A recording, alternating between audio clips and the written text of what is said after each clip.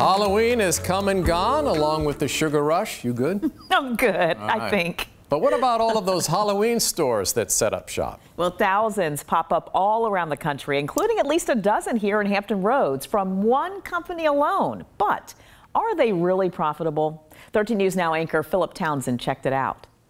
What's with all the pop up Halloween stores every year? Ever wonder how that works? Here one day, gone the next? This isn't just a Hampton Roads thing, they exist all over the country. One of the bigger companies, Spirit Halloween. You've seen them pop up in old toy stores and vacant food marts. In fact, we counted 11 of them in Hampton Roads alone. Here's the interesting thing. We told you about the decline in traditional retail, stores closing like Dick's at Town Center, or the handful heading out of MacArthur Center in Norfolk. Well, this decline actually helps companies like Spirit Halloween. Why? Because their business model revolves around real estate. They hire teams to scout out locations year round, and the more that popular retailers, already in prime spots, close, the more space there is for Spirit Halloween to move in and grab a temporary lease for a decent price.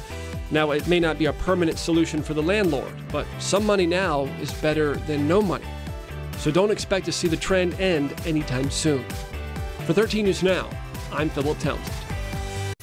Spirit has been around since 1983, but if you think you've seen more every year, you're right. It started with one. Now there are about 1,400 stores in the U.S. and Canada. And get this, you may not know this, Spencer Gifts. Are you old enough to remember that? Oh, yeah. They bought the company 20 years ago, and they still operate the chain today.